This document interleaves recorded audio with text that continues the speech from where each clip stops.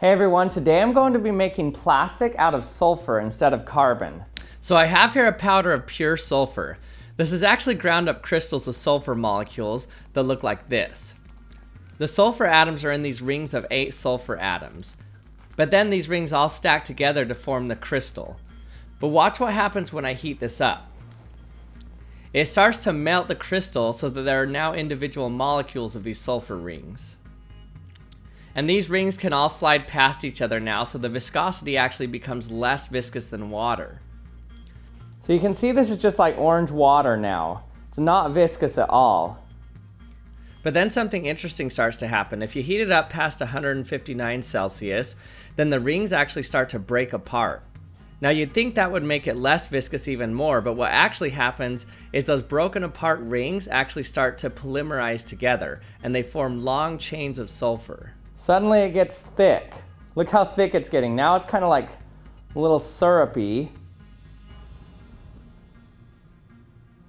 Suddenly it becomes really thick, like syrup.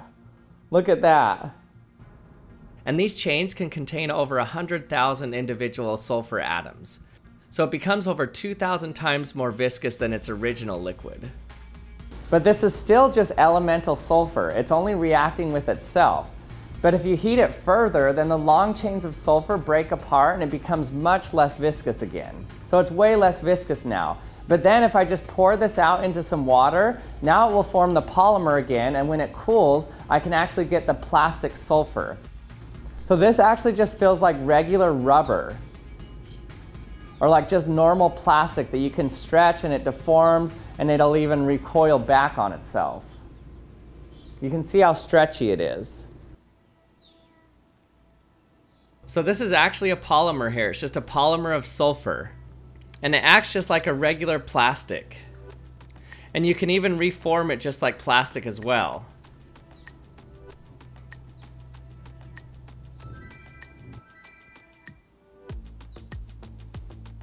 But then after a while, it'll actually start to migrate back into its regular S8 form and become crystal again. So it becomes really hard after a while.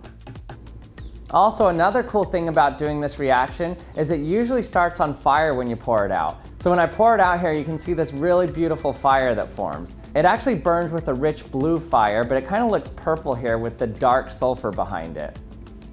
This is so cool.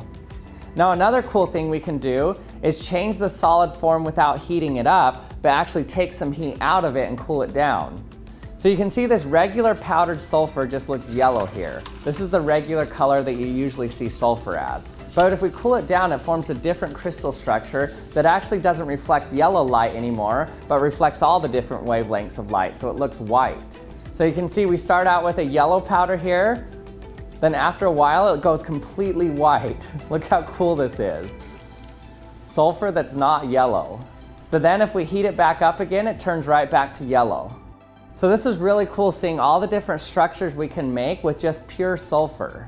So because sulfur doesn't form strong double bonds, when you have pure elemental sulfur, it usually consists of cyclic S8 molecules that form an octet like this. But besides forming these cyclic S8 structures, there can also be cyclic sulfur with 6, 7, 8, 10, and 12 atoms. In fact, solid sulfur can form over 30 different structures, that's more than any other element in the periodic table. And thanks for watching another episode of the Action Lab. I hope you enjoyed it. If you did, don't forget to subscribe if you haven't subscribed yet, or you can hit the bell to be notified when my latest video comes out. And also check out theactionlab.com where I sell my Action Lab experiment boxes. And thanks for watching, and I'll see you next time.